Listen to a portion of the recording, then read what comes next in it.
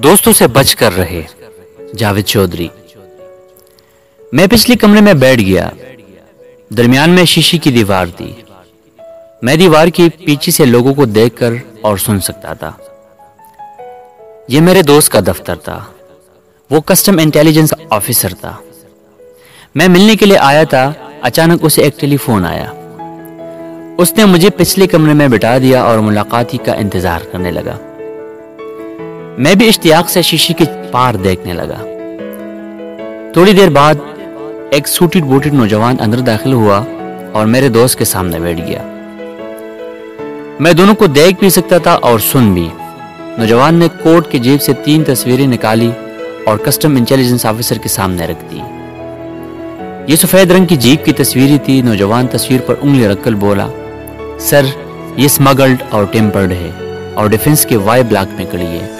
मैं आपको एड्रेस दे देता हूँ, आप ये पकड़ लें। मेरे दोस्त ने गौर से तस्वीरें देखी और थोड़ा सा सोच कर बोला, हम किसी के घर चापा नहीं मार सकते। हाँ अलबत्ता ये गाड़ी अगर सड़क पर हो तो हम उसे कस्टडी में ले सकते हैं। नौजवान ने भी थोड़ी देर सोचा और फिर बोला, मैं गाड़ी के मालिक के साथ शाम चार बजे जूस पीने के लिए घर से निकलूँगा। मैं आपको एसएमएस भी कर दूँगा और जूस कॉर्नर का एड्रेस भी भिजवा दूँगा। आप वहाँ चापा मारकर गाड़ी कब्जे में ले लें। लेकिन बस एक शर्त है, वो खामोश हो गया। मेरा दोस्त खामोश से उसकी तरफ़ देखता रहा। वो थोड़ी देर तक बोला, गाड़ी का मालिक मेरा दोस्त है। आप किसी कीमत पर किसी को मेरा नाम नहीं बताएँगे। और दूसरा, जब आपकी टीम चापा मारेगी तो मैं शोर करूँगा। मैं टीम के साथ लड़ूँगा भी, लेकिन आपने उससे ज़्यादा सीरियस नहीं लेना। आप गाड़ी लेकर निकल जाएगा। मेरे दोस्त ने कह लगाया और डन कर दिया। नौजवान थोड़ी देर मजीद बैठा, चाय पी और चला गया। मैं बाहर आ गया और मैंने अपने दोस्त से इसकी डील के बारे में पूछा। मेरे दोस्त ने कह लगाकर जवाब दिया, ये लाहौर के एक अमीर जादे का दोस्त है। अमीर जादे ने नॉन कस्टम पेड स्मगल गाड़ी खरीदी है।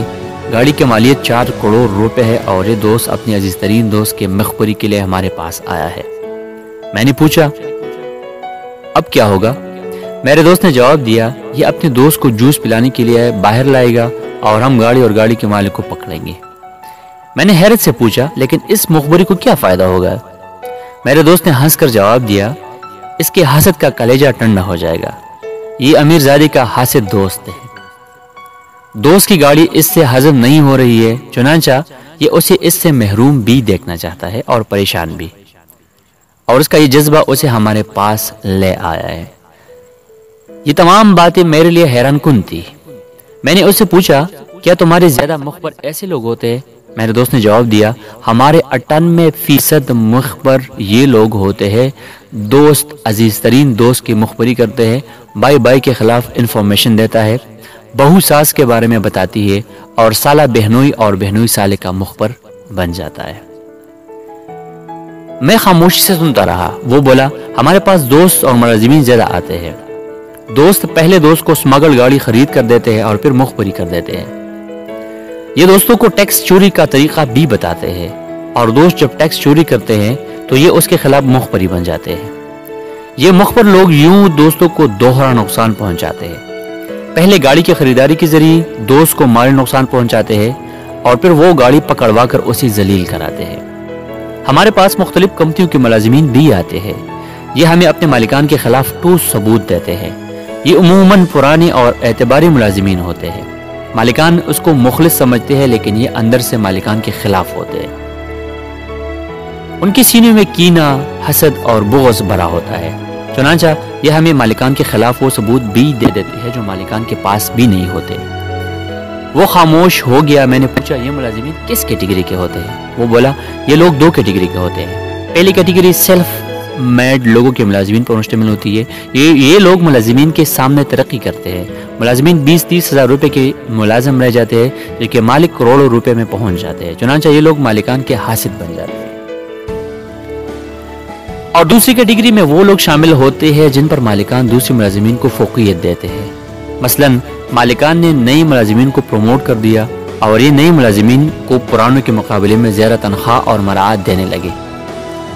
तो पुराने मुलाजिमीन अंदर से जख्मी हो जाते हैं। और ये मालिकान के खिलाफ मुखबर बन जाते हैं। मैंने उससे पूछा, आपने अपनी नौकरी के दौरान मखबरी का सबसे अफसोसनाक वाक़ किया देखा?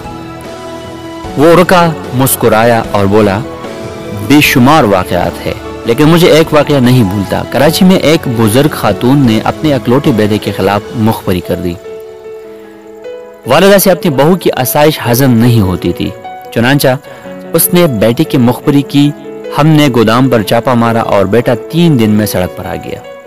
वो रुका और फिर बोला, मेरे पास जिगरी दोस्तों के हसद की बेशुमार मिसालें भी है। मैं कराची की एक फैमिली को जानता हूँ, उनका बेटा अकलौता था। बेटे ने स्मगल स्पोर्ट्स कार खरीद ली, जिगरी दोस्त ने मुखबरी कर दी, हमने कार कब्जे में ले ली। बेटे को कार बहुत अज़ीज़ थी, चुनाचा वालिद ने वो गाड़ी ऑक्शन में खरीदी। ज़्यादा टैक्स और ज़्यादा ड्यूटी दी और गाड़ी बेटे को गिफ्ट कर दी।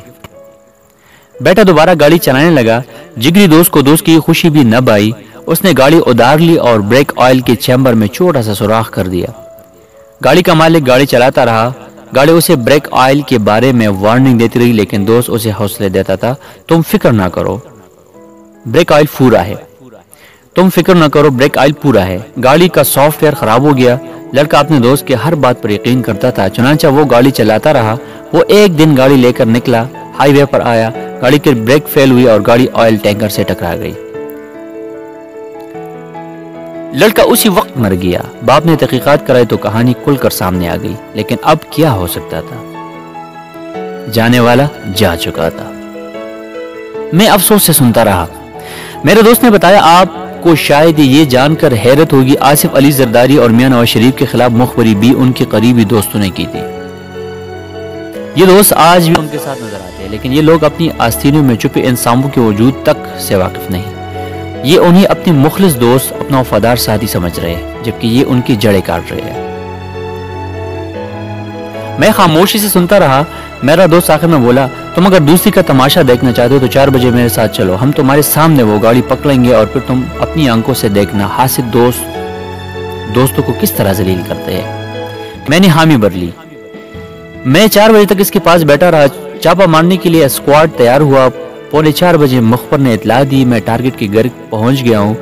पाँच मिनट बाद पैगाम आया। हम स्मगल गाड़ी में जूस पीने के लिए निकल रहे हैं। हम गुलबर्ग में फवारा चौक के करीब फ्ला जूस कॉर्नर पर जा रहे आप चार बजकर पाँच मिनट तक पहुँच जाइए। मेरे दोस्त ने मुझे गाड़ी में बिठाया और हम गुलबर्ग पहुँच गए। नॉन कस्टम पैड टेम्पर्ड गाड़ी सामने खड़ी थी। दोनों दोस्त गाड़ी में बैठ गए और जूस पी रहे थे। कस्टम के अहलकार गाड़ी के पास पहुँचे। गाड़ी का शीशा बजाया और मालिक से गाड़ी की कागजात मांग ली। मालिक ने पूरे अतमाद के साथ कागजात निकालकर कस्टम के हवाले कर दी। अहलकारों ने कागजात दे बोंट खुलवाया और गाड़ी का इंजन और कैसे चैम्बर चेक करने लगे। गाड़ी ज़ाहिर है, टेम्पर्ड थी। कस्टम हुकाम ने गाड़ी कब्जे में ले ली। मालिक का दोस्त गाड़ी से उतर, उतरा और प्लान के मुताबिक कस्टम हुकाम के गले पड़ गया। सड़क पर टीक टाक तमाशा लग गया। गाड़ी का मालिक दोस्त को कंट्रोल करने की कोशिश करता रहा, लेकिन वो बार बार एहलकारों के गले पलटा था मैं और मेरा दोस्त गाड़ी में बैठकर मंजर देखते रहे। मुखबिर ने एक आध बार लड़ते लड़ते मेरे दोस्त को आँख भी मारी। ये कुल, ये केल चंद मिनट चंद मिनट चलता रहा, यहाँ तक कि कस्टम हुकाम ने गाड़ी का चार्ज ले लिया। मैंने देखा, मुखबर ने चीख भी मारी और जूस कॉर्नर के थड़े पर लेट गया।